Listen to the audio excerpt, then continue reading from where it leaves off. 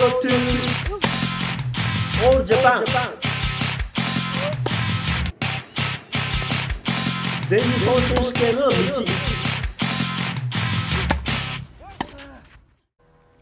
はい皆さんお楽しみ様です。今サバを食べてます。あとトマトとレタスのサラダを食べてます。元気なうちに今日の振り返りをしたいと思います。今日はですねえー大宮で、えー小島選手と一緒に、えー練習をする予定だったんですが雨でコートが使えなかったので近くの体育館で、えートレーニングをさせていただきました、えー一緒にトレーニングをしてもらったんですけどもボールをですね使ったトレーニング。それで、まあ、かなり反応ですとか反射神経一瞬の動きこれを小島選手が普段から鍛えているということを教えてもらいました。小島